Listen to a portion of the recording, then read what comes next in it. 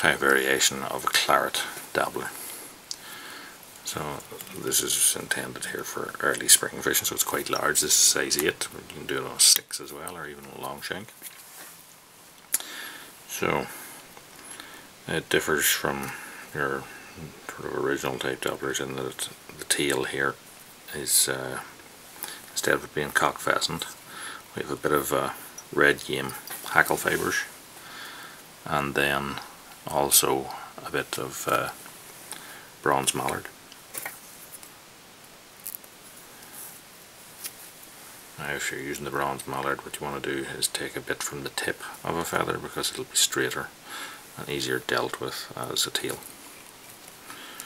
Lay in a few fibres of that on top and then stroke that back. It should sort of half mix those two materials. Now, the rib, I'm going to use uh, a wide silver flat tinsel. This, this is actually a vintage metal one that I'm using. Tie that in and then the body as suggested the name of the fly is claret so claret seal some sort of claret dubbin start to spin it put one turn on just to catch a few fibres and that will then allow you to spin your dubbin rope tighter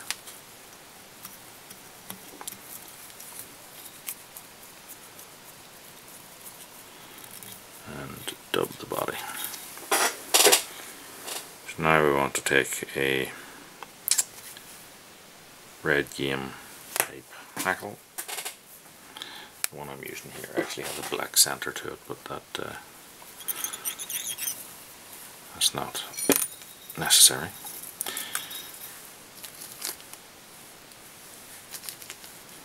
So tie that in and then get it in our hackle pliers.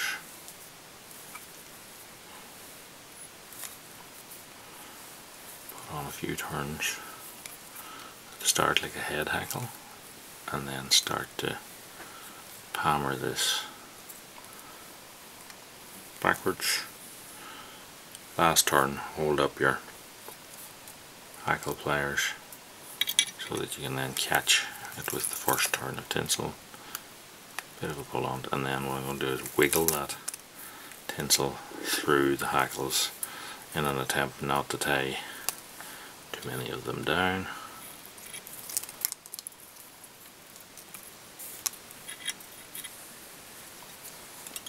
Underneath.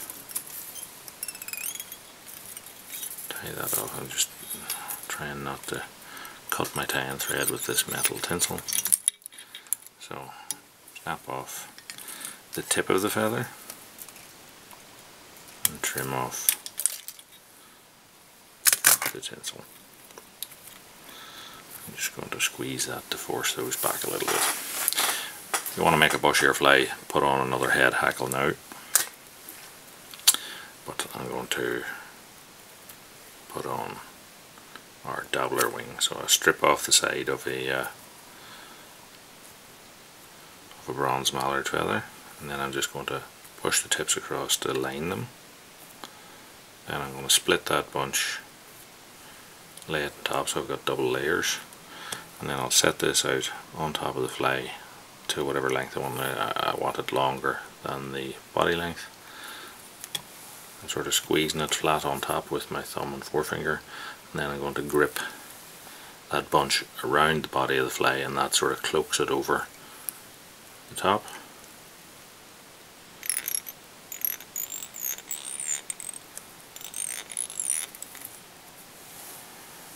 Tie that in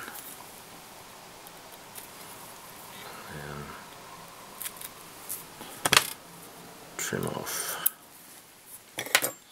those waste ends. I'm just going to add a little bit of super glue onto my thread there. Start at the front there so it's going to stick into those cut ends.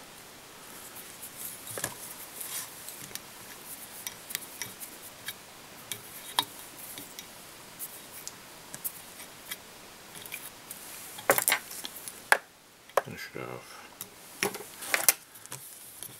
And if you want you can sort of mess up that wing.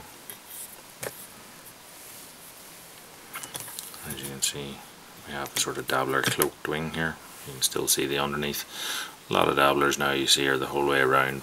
That's up to yourself uh, whether you want to do that. Some do some don't. But uh, I think the original idea of it was to sort of tie it as a roof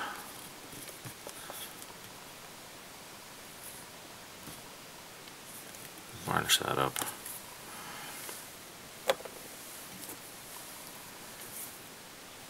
Check the eye is clear. And there we have a uh, claret dabbler variant